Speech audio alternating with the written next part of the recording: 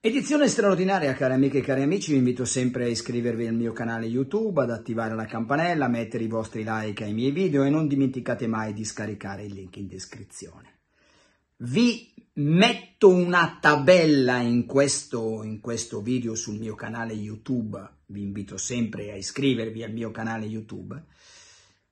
Molti di voi, io mi metto anch'io fino a ieri, non erano al corrente di quello che succede se il Milan si qualifica. Qualcuno dirà, sì, aspetta che si qualifichi. E io rispondo, non voglio pensare che il Milan contro Bruges, Dinamo Zagabria, Slovan Bratislava, Girona e Dinamo Zagabria non porti a casa i punti almeno per arrivare in tabella nono, decimo, undicesimo, dodicesimo. E nono, decimo, undicesimo e dodicesimo, se la même chose è la stessa cosa. E dopo vi spiego perché.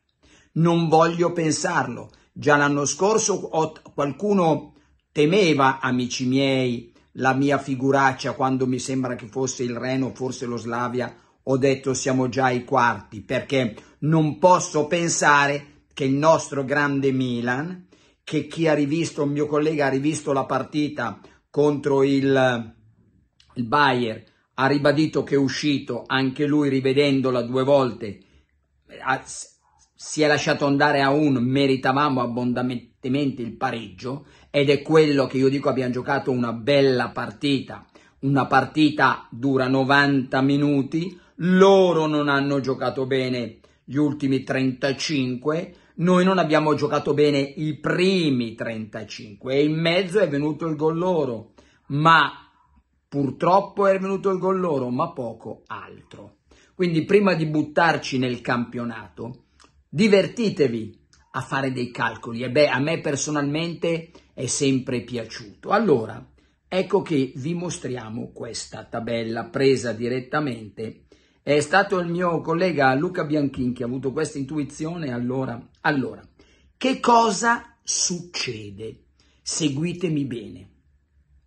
Sappiamo che le prime otto passano a marzo, mentre febbraio nel, ci sono le due partite per arrivare appunto agli ottavi. Allora, che cosa succede? ci sono delle estrazioni pur essendoci il, ca- calen- il calendario, eh, il tabellone, scusate, il tabellone tennistico e voi l'avete davanti. Allora succede che la 17, già non si, bisogna esserci un sorteggio, la 17 o la 18 giocano contro la 15 o la 16. Quindi di quelle quattro la 17 gioca contro la 15 e la 16, la 18 gioca contro la 15 o la 16. La vincente, la vincente di, questo, eh, di, queste due par- di queste partite, cioè il 17 che gioca contro la 18 e o la 15 e la 18 contro la 16, la vincente va ad affrontare la 1 o la 2 e così la 23-24 affronta la nona o la decima e affronta la settima o l'ottava e la ventunesima e la ventiduesima piazzata affronta l'undicesima o la dodicesima, seguite la tabella, e affronta la quinta e la sesta.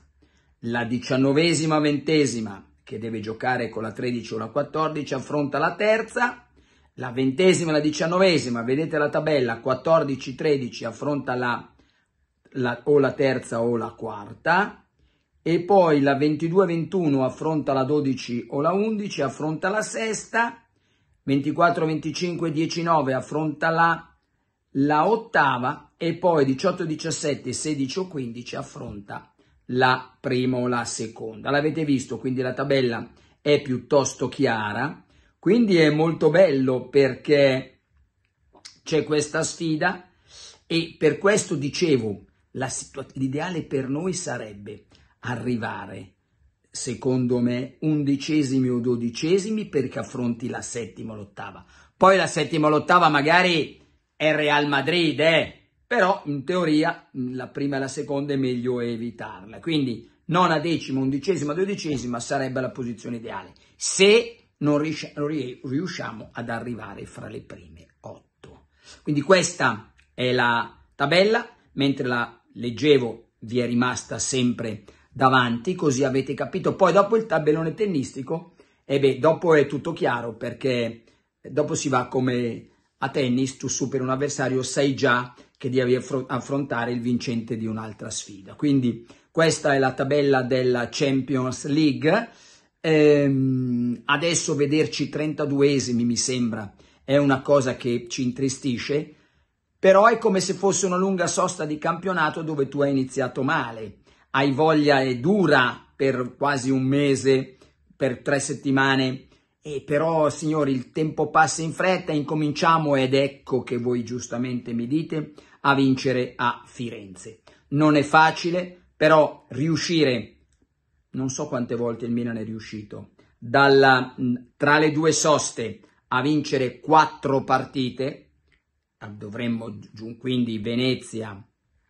Inter, Lecce e speriamo Fiorentina, beh, incominciamo subito a raddrizzare le cose, anche perché c'è sempre questa, lo sapete già purtroppo, forse perché io leggo i commenti, questa tendenza subito al nichilismo, al nichilismo che viene dal, ve lo ricordate, nihil, latino nihil vuol dire niente, il nichilismo, subito il negativismo spaziale perché non, nonostante una bella partita, chiaro che poi eh, sei dietro in classifica e la cosa ti può, diciamo, irritare, ti può eh, amareggiare, ti può intristire, però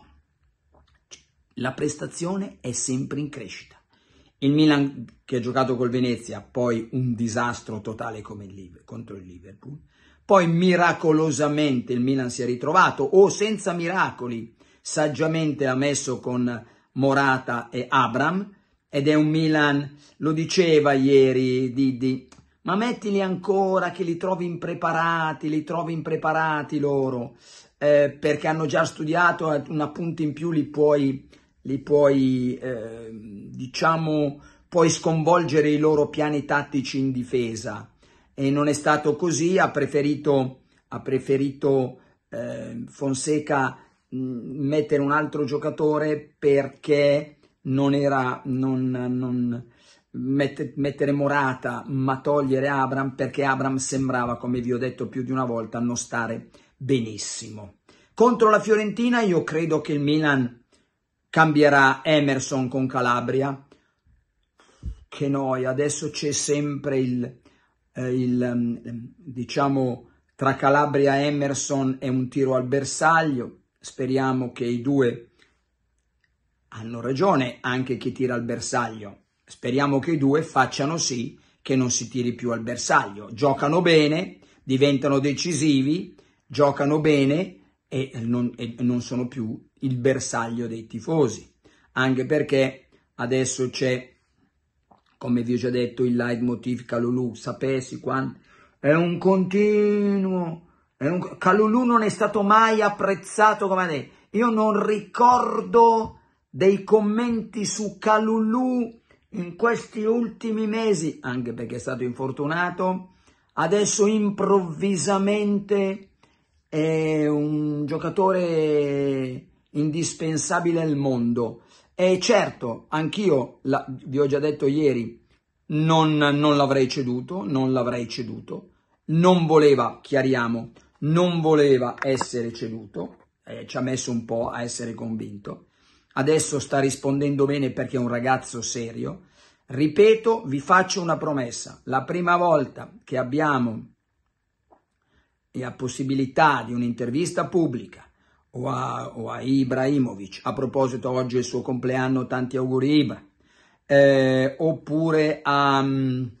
eh, Moncadà, oppure a Furlani, chiederemo quali siano state le strategie, le riflessioni per cedere eh, Calulu. Almeno lo sappiamo e ve lo prometto, e ve lo prometto che eh, farò, rivolgerò questa domanda, perché è una domanda che non c'è bisogno che debba far promesse, interessa anche a me, mi dicano il motivo, eh, però sapete io subito mi porgo la mia attenzione non a quelli che sono altre, in altre squadre, ma su quelli della mia squadra. E quindi mi auguro che Emerson o Calabria crescano ancora e non facciano sempre pensare al buon e bravo Calulu. Per quello che riguarda Tomori, anche lui, e sono io che dico che Tomori in questo momento non, non, non è feroce come vorrei in area, non è feroce come vorrei in area. Il gol subito, anche se annullato, non mi interessa se annullato o no. È, è venuto un cross e lui mi ha bucato il pallone. Forse andrà Pavlovic su, su, in, in difesa di fianco a Gabbia Là davanti io penso che non cambi nulla. Io penso che ci sarà Reinders, Fofana, Pulisic, Leao e i due Abram Morata. Con la speranza però che Morata però incominci adesso a giocarmi partita dietro partita perché eh, non eh, cominciano a essere troppe le assenze di un giocatore che quando entra fa, fa cambiare subito la partita. La Borsite eh, vi assicuro è un, un, fastidio, un'infiammazione noiosa, quindi speriamo non ci debba giocare su, ehm, però quando siamo alla vigilia della sosta è chiesto a tutti di strappare, di stringere i denti e riuscire a entrare in squadra anche se non si è al massimo, al 100%. Cari amiche e cari amici, vi ho mostrato la tabella che ci può interessare che ci può interessare, pensare positivo. Quando vi ho detto i rassegnati stiano a casa, quando vi ho detto il 33% non è, bisogna pensare positivo, bisogna tirarsela addosso la positività, non scacciarla. E quindi studiate la tabella,